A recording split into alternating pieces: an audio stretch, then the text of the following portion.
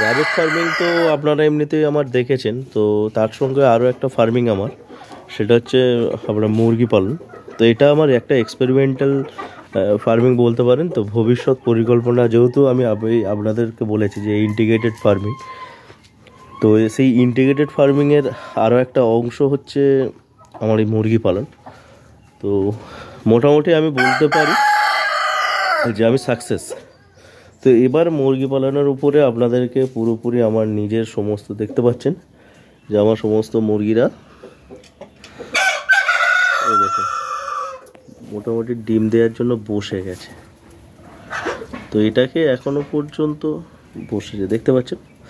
এখনও পর্যন্ত আমি এটাকে ঠিকঠাকভাবে শুরু করিনি, এটাকে ধীরে ধীরে এখন প্রথম লটে এনেছিলাম পাঁচটা, তারপর তেরোটা।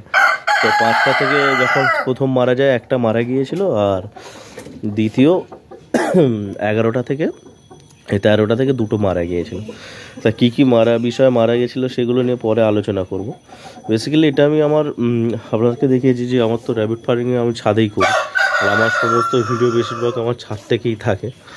তো সেখান থেকেই আমি এটাকে আস্তে করে আজ থেকে ধরুন এক বছর আগে আমি এটা শুরু করা। তো এখন মুরগিগুলোর গ্রোথ দেখতে পাচ্ছেন। তো এরপর আমার যেটা, আমার মূল লক্ষ্য আছে, সেটা হচ্ছে এই যে এটাকে এবার এইটাকেই, মুরগি পালনটাকে এবারে ফার্মিং আকারে বড় করা। তার সঙ্গে বন্ধুরা, আপনাদের সঙ্গে তো অবশ্যই শেয়ার করব যে আমার টোটাল এই ফার্মিং এর যে রাস সেটা। তো এই জন্য আপনাদের প্রত্যেককে সবসময় বলে থাকি যে স্বনির্ভর হওয়ার জন্য আমাদেরকে কৃষি নির্ভর দেশ আমাদের, সে ভারত হোক বা বাংলাদেশ। তো আমাদেরকে প্রত্যেককেই কৃষির উপর নির্ভর করে চলতে হবে। আর কৃষির কোনো বিকল্প নেই। কারণ সমস্ত দেশের অর্থনীতি, সমস্ত দেশের ইনফ্রাস্ট্রাকচার যে ডেভেলপ করে, পুরোটা কিন্তু কৃষি নির্ভর। আমরা যতই আইটি সেক্টরের দিকে ঝাঁপাই না কেন, সেগুলো সমস্ত কিছুটাই ডিপেন্ড করে আপনার কৃষির উপরে। তো আমাদেরকে কিন্তু কৃষি ভুললে হবে না। হ্যাঁ হতে পারে আমরা লকডাউনের পরে আমিও ভালো চাকরি করতাম। তো রিসেন্ট আমারও বলতে পারো যে চাকরি চলে গেছে। তারপর থেকেই আমার এই প্রথম ফার্মিং জীবনে পা দেওয়া প্রথমে শখে চাষ করতাম। তারপর ধীরে ধীরে কমার্শিয়ালভাবে এক্সপেরিমেন্ট করা। আ- আরেকটা কথা হচ্ছে ইউটিউব দেখে চাষবাস ইউটিউব দেখে ফার্মিং করাটা একদমই উচিত নয়। এটা কিন্তু ঠিক। কারণ ইউটিউবে সব সময় সব ক্রিয়েটার সঠিক তথ্য দেয় না। এটা সত্যিই আমি বিশ্বাস করি। খুব খুব আততায়ীভাবে, কারণ আমি ইউটিউবের ইউটিউব দেখেই মোটিভেট হয়ে যদিও আসা ইউটিউবকে বদনাম করব না। কিন্তু ইউটিউব দেখে আসার পরে নিজে যদি না এ করতাম, তাহলে একটা ভ্রান্ত ধারণার মধ্যে থাকতাম।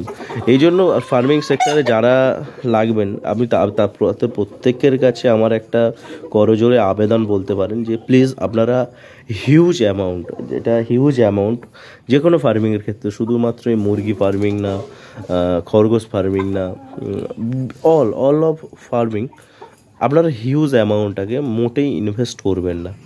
আপনারা প্রথমে এক্সপেরিমেন্ট করুন এক্সপেরিমেন্ট করে সাকসেস হন। সাকসেস রেট যদি আপনার ঠিক থাকে, তারপর আপনি ধীরে ধীরে কোনো ব্যাপার নেই, আপনি চালু করুন। কিন্তু সাকসেস রেটের আগে একদমই করবেন না। আমি আমার দেখতেই পাচ্ছেন বাড়ির ছাদ। আমি আমার বাড়ির ছাদটা কি ফার্মিং সেট করছি ধীরে ধীরে। তো আমার বাড়ির এদিকে খরগোশ সেক্টরটা রেখেছি। দেখতে পাচ্ছেন এখন শীত, শীতকালের সময়। সেই জন্য আমার খরগোশগুলোকে প্রত্যেকটাকে সুন্দর করে চাপা দেয়। এগুলো সব খাঁচা। এগুলো সব খাঁচা আছে। সব খাঁচা। তো দেখতেই পাচ্ছেন, সমস্ত খাঁচাগুলোকে সব চাপা দেওয়া আছে। কারণ আমি শীতকালে মিনিমাম দশটার আগে কোনো খাঁচাই খুলি না। কারণ হালকা হালকা রোদ আসবে, তারপরে আমি খুলব। তো আমি আমার ছাদটাকে কীভাবে জাল দিয়ে পরিষ্কার, অবশ্যই পরিষ্কার। কারণ মুরগি থাকলে একটু নোংরা করে। তো সেই জন্য জাল দিয়ে সুন্দরভাবে জাল দিয়ে এটাকে পুরো ঘিরে দেওয়া আছে। ঘিরে দেওয়ার পর ধীরে ধীরে আমি শুরু করছি। তো আপনাদেরকেও বলব, আপনারাও অবশ্যই শুরু করুন এবং মুরগি পালন নিয়েও এবারে সমস্ত ইনফরমেট ওইদিকে দেখুন, আমার মুরগি আর খরগোশ কিন্তু একসাথে আছে। দেখতেই পাচ্ছেন ওদিকে। ওখানেও আমার অলরেডি একটা মুরগি আর ইয়ে আছে। তো প্রত্যেককে বলছে বন্ধুরা ফার্মিং ভারতবর্ষ কৃষি নির্ভর দেশ। আর কৃষি কোনো বিকল্প নেই। প্রত্যেকের কাছে করজোড়ে আবেদন যে আসুন। চ্যানেলটিকে তো অবশ্যই আপনারা সাবস্ক্রাইব করেছেন। যারা এখনও করেননি, হয়তো একটু পরে আবার করেও নেবেন। সেটা কোনো বড় কথা নয়, কিন্তু আপনাদেরকে, আপনাদের মতো করে চলতে হবে। আপনাদেরকে বাঁচার রাস্তা আপনাদেরকে দেখতে হবে। আমি সুশোভন মণ্ডল, আমার এক্সপিরিয়েন্স আপনাদের সঙ্গে শেয়ার করছি। কিন্তু আমি আপনাকে কিছুই করে দিতে পারব না। আপনাকেই আপনার ভবিষ্যৎ, আপনার অতীত, আপনার বর্তমান, সমস্ত কিছু আপনাকে নির্ধারণ করতে হবে। তো সেই জন্য অতীত থেকে শিক্ষা নিয়ে বর্তমানটাকে আমরা প্রত্যেকে চাই সচ্ছল করার জন্য। তাই সমস্ত বন্ধুদেরকে আমার সাফল্যর সামান্য একটা ইয়ে। আমি প্রত্যেক সব থেকে বড়ো কথা বলতে আমি প্রত্যেক দিন প্রত্যেক দিন ছটা করে ডিম পাই।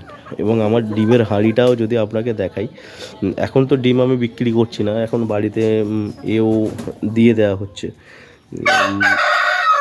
সেরকমভাবে ডিম বিক্রি করছি না। তো এরপর আমি একশোটা শেড নিয়ে আসব, এবারে অ্যাভারেজ একশোটা আপনার মুরগি নিয়ে আমি নামবো। তখন থেকে আমার টোটাল ভিডিও স্টার্ট হবে। তো আজকের মতো সবাইকে ধন্যবাদ। কালকে দেখা হবে আবার একটা নতুন ভিডিও নিয়ে।